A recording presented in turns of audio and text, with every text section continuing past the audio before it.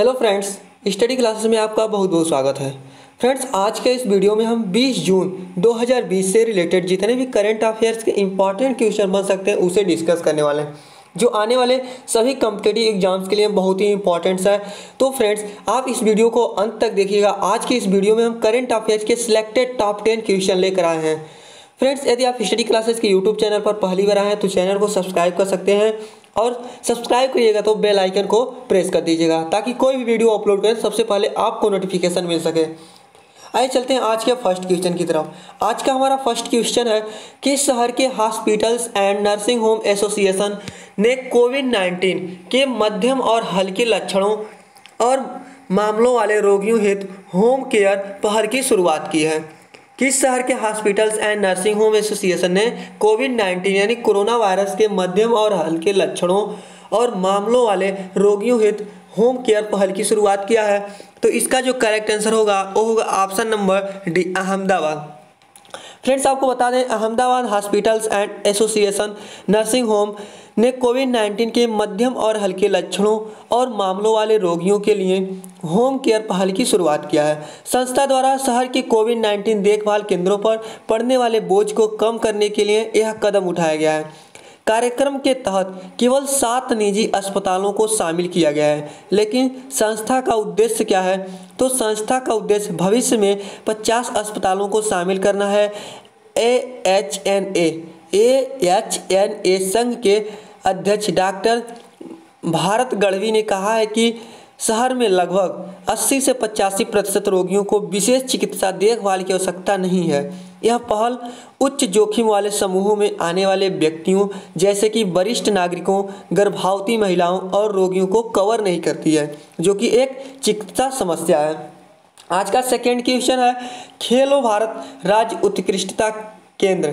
खेलो भारत राज्य उत्कृष्टता केंद्र के आई एस सी ई की स्थापना युवा और खेलों मामलों के मंत्रालय खेल मामलों के मंत्रालय द्वारा कौन सी स्कीम के तहत की जाएगी?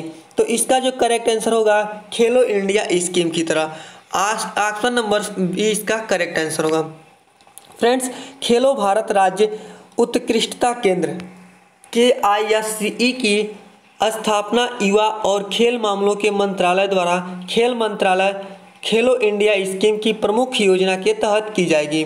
योजना के तहत देश में खेल के लिए एक मज़बूत परिस्थिति की तंत्र बनाने के उद्देश्य से भारत के प्रत्येक राज्य और केंद्र शासित प्रदेश में एक भारत राज्य उत्कृष्टता केंद्र की पहचान की जाएगी।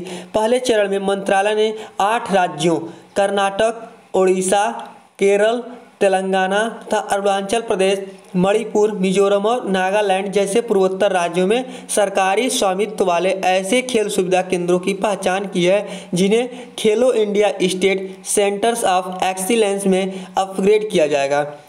खेल सुविधाओं के चयन की प्रक्रिया अक्टूबर 2019 से शुरू हुई थी। आज का नेक्स्ट क्वेश्चन है, निम्न में से किसने 16 जून 2020 को 16 जून 2020 को विश्व प्रतिस्पर्धा दिवस रैंकिंग 2020 जारी किया है। निम्न से किसने 16 जून 2020 को विश्व प्रतिस्पर्धी रैंकिंग 2020 जारी किया है? तो इसका जो करेक्ट आंसर होगा, वो होगा ऑप्शन नंबर सी इसका करेक्ट आंसर होगा। प्रबंध विकास संस्थान ने।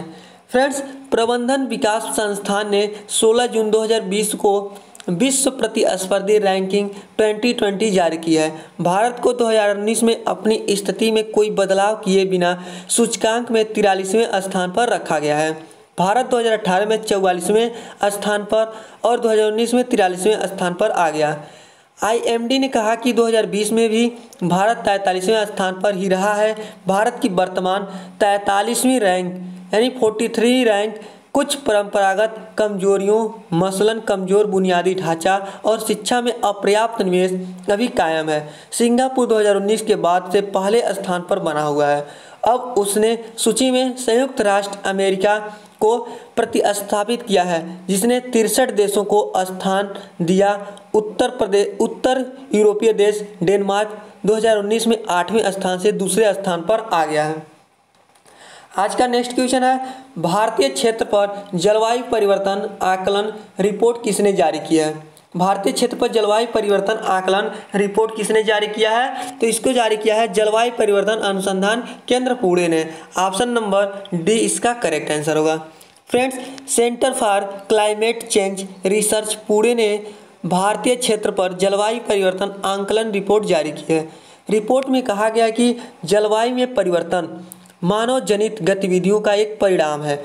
जलवायु परिवर्तन अनुसंधान केंद्र पुणे, भारतीय उष्णकटिबंधीय मौसम विज्ञान संस्थान पुणे के पृथ्वी विज्ञान मंत्रालय के तहत काम कर रहा है। रिपोर्ट में यह भी कहा गया कि 1901 से 2018 की अवधि में भारत के औसत तापमान में लगभग 0.7 डिग्री सेल्सियस की वृद्धि हुई है।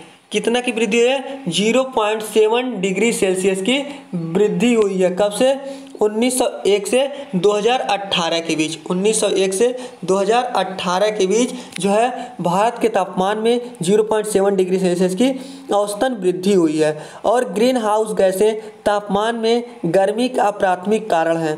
इस रिपोर्ट में सदी के अंत तक भारत के औसतन तापमान में 4.4 डिग्री सेल्सियस की वृद्धि दर्ज की गई है। यानी 2000 यानी दो हज़ार निन्यानवे तक जो है भारत के तापमान में 4.4 डिग्री सेल्सियस की वृद्धि होने की आशंका जताई गई है। आज का नेक्स्ट क्वेश्चन है, हाल ही में किसने विभिन्न स्थानों में स्थानों से ऑनलाइन दावों के निपटान सुविधा की शुरुआत किया है? तो इसका जो करेक्ट आंसर होगा वो होगा ऑप्शन नंबर डी इसका करेक्ट आंसर होगा ई पी एफ़ ओ ने। फ्रेंड्स, हाल ही में कर्मचारी भविष्य निधि संगठन ई पी एफ़ ओ ने विभिन्न स्थानों से ऑनलाइन दावों के निपटान सुविधा की शुरुआत की है। कार्यक्रम के तहत सभी प्रकार के ऑनलाइन दवा यानी भविष्य निधि, पेंशन आंशिक निवासी और दावों और हस्तांतरित दावों की प्रक्रिया पूरी की जा सकती है। ईपीएफओ के क्षेत्रीय कार्यालयों से किसी भी स्थान से ऑनलाइन दवाओं के निपटान को सक्षम करने से उन देरी में कमी आएगी जो देश भर में समान रूप से दावे की बस्तियों के कार्यभार को वितरित करके हुआ करती थी। आज का नेक्स्ट क्वेश्चन है, विश्व मरुस्थलीकरण एवं सूखा रोकथाम दिवस किस तिथि को मनाया जाता है? जो विश्व मरुस्थली दिवस एवं सूखा रोकथाम दिवस मनाया जाता है, वह किस तिथि को मनाया जाता है? तो यह मनाया जाता है सत्रह जून को। ऑप्शन नंबर बी इसका करेक्ट आंसर होगा। फ्रेंड्स, विश्व मरुस्थली, विश्व मरुस्थलीकरण एवं सूखा रोकथाम दिवस का विषय क्या होता है? तो food, feed, fibre. Food feed fibre था। विश्व मरुस्थलीकरण एवं सूखा रोकथाम दिवस प्रतिवर्ष 17 जून 17 जून को मनाया जाता है ताकि लोगों के दैनिक जीवन पर मरुस्थलीकरण, सूखे और भूमि क्षरण के प्रभाव के बारे में जागरूकता बढ़ा सके और यह प्रत्येक व्यक्ति को मरुस्थलीकरण, भूमि क्षरण और सूखे के खिलाफ लड़ाई में योगदान देने और मदद करने के लिए आवश्यक है। शुष्क उप्र, आर्द्र, अर्ध शुष्क और शुष्क क्षेत्रों में भूमि के क्षरण को मरुस्थलीकरण कहा जाता है और यह मुख्य रूप से मानव जीवन, कार्यों और जलवायु परिवर्तनों के कारण होता है। मरुस्थलीकरण का मतलब पहले से मौजूद रेगिस्तानों का विस्तार नहीं है। मरुस्थलीकरण से निपटने के लिए संयुक्त राष्ट्र कन्वेंशन के एक रिपोर्ट के अनुसार दुनिया भर में तेईस प्रतिशत भूमि अधिक उत्पादक नहीं है। दुनिया भर में जो 23 परसेंट भूमि है, वह अधिक उत्पादक नहीं है, यानी मरुस्थल बन गया है, उसे मरुस्थलीकरण किया जा रहा है। आज का नेक्स्ट क्वेश्चन है, भारत में त्रिकोणीय सेवाएँ पहली बार किस देश की विजय परेड में भाग लेने वाली है? भारत में त्रिकोणीय सेवाएँ पहली बार किस देश की विजय परेड में भाग लेने वाली है? तो है रूस की। ऑप्शन नंबर बी इसका करेक्ट आंसर होगा। फ्रेंड्स, भारत के रक्षा मंत्री राजनाथ सिंह ने द्वितीय विश्व युद्ध में विजय की सेवेंटी फाइववीं, यानी पचहत्तरवीं वर्षगांठ के अवसर पर रूस की विजय दिवस परेड के लिए एक भारतीय त्रिकोणी सेवाओं को भेजने पर सहमति व्यक्त की है, जहाँ दुनिया के अन्य देशों के प्रतियोगी भी भाग लेंगे। रूस के रक्षा मंत्री मास्को में 24 जून 2020 को आयोजित होने वाले विजय दिवस परेड में भाग लेने के लिए भारत दल को, भारतीय दल को आमंत्रित किया गया है। रक्षा मंत्री ने परेड में भाग लेने के लिए पचहत्तर सदस्यीय दल को भेजने पर सहमति व्यक्त की है, जहाँ अन्य देशों के सैन्य दलों के भी भाग लेने की उम्मीद है। परेड में भाग लेने रूस के लोगों के साथ एकजुटता दिखाने और श्रद्धांजलि देने का प्रतीक होगा जब वे महान देशभक्ति के युद्ध के अपने नायकों को याद करेंगे। आज का नेक्स्ट क्वेश्चन है S D I S I D B I यानी सिडवी के नवनियुक्त नामित निदेशक के नाम बताइए। तो है Devendra Kumar option number B इसका करेक्ट आंसर होगा। फ्रेंड्स देवेंद्र कुमार सिंह को वित्त मंत्रालय द्वारा अधिसूचित लघु उद्योग विकास बैंक सिडवी के नए नामित निदेशक के रूप में नियुक्त किया गया। वर्तमान में वह सूक्ष्म, लघु और मध्यम उद्यम मंत्रालय के अतिरिक्त सचिव और विकास आयुक्त के रूप में सेवारत हैं। वह राम मोहन मिश्रा का पदभार संभालेंगे। देवेंद्र कुमार सिंह, ई गवर्नेंस में सुधार प्रक्रियाओं के डिजिटलीकरण, अधिक व्यापार सुविधा और पारदर्शिता के लिए विदेश व्यापार नीतियों के निर्माण पर काम करेंगे। आज का नेक्स्ट क्वेश्चन है, विश्व प्रतिस्पर्धा सूचकांक 2020 में भारत कौन से स्थान पर है? वर्ल्ड कम्पिटिटिवनेस इंडेक्स में भारत किस स्थान पर है? तो यह तिरालीसवें स्थान पर है। ऑप्शन नंबर बी, इसका करेक्ट आंसर होगा। फ्रेंड्स, विश्व प्रतिस्पर्धा सूचकांक 2020 में भारत तैंतालीसवें स्थान पर है। पहले स्थान पर सिंगापुर रहा और दूसरे स्थान पर डेनमार्क रहा है। तीसरे स्थान पर स्विट्जरलैंड है। आज का नेक्स्ट क्वेश्चन है, पशुपतिनाथ मंदिर परिसर में स्वच्छता सुविधा के विकास हेतु किस देश ने नेपाल के साथ एक समझौता किया है? पशुपतिनाथ मंदिर परिसर में स्वच्छता सुविधा के विकास हेतु तो किस देश ने नेपाल के साथ एक समझौता किया है? तो इसका करेक्ट आंसर होगा भारत। ऑप्शन नंबर डी इसका करेक्ट आंसर होगा। फ्रेंड्स पशुपतिनाथ मंदिर के स्वच्छता, पशुपतिनाथ मंदिर के स्वच्छता सुविधा के विकास हेतु भारत और नेपाल के बीच एक समझौता ज्ञापन पर हस्ताक्षर किए गए हैं। समझौता ज्ञापन के तहत भारत सरकार परिसर के विकास के लिए नेपाल सरकार को thirty seven point two three यानी सैंतीस दशमलव दो तीन मिलियन डॉलर।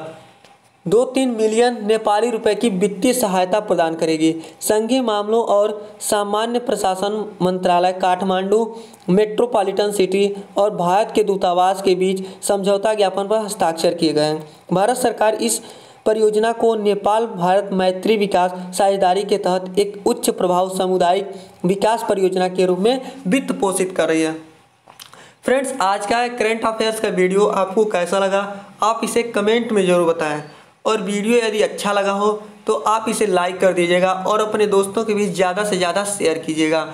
और ज़्यादा वीडियो देखने के लिए आप हमारे चैनल को स्टडी क्लासेस को सब्सक्राइब कर सकते हैं और बेल आइकन को प्रेस कर दीजिए ताकि कोई भी वीडियो अपलोड करें सबसे पहले आपको नोटिफिकेशन मिल सके। और भी वीडियो देखने के लिए आप इस वीडियो के डिस्क्रिप्शन में दिए हुए लिंक से जा कर के वीडियो को देख सकते हैं। और यदि इस वीडियो का आपको पीडीएफ चाहे तो आप हमारे टेलीग्राम चैनल को सब्सक्राइब कर सकते हैं ज्वाइन कर सकते हैं, जिसका लिंक हमने इस वीडियो के डिस्क्रिप्शन में दिया हुआ है। थैंक यू फ्रेंड्स वीडियो देखने के लिए मिलते हैं फिर से अगले वीडियो में।